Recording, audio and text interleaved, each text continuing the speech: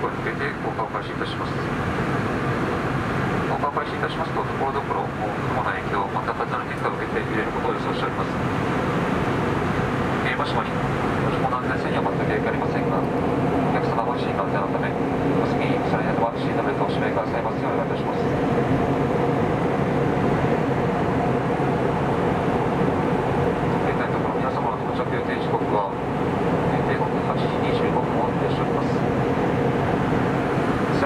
島空港周辺の天候は曇り、気温は17度と報じられております。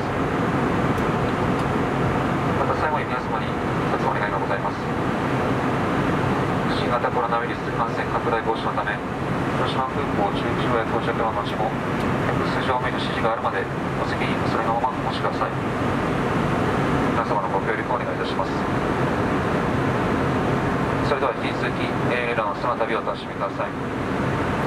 ャのご乗車本当にありがとうございます。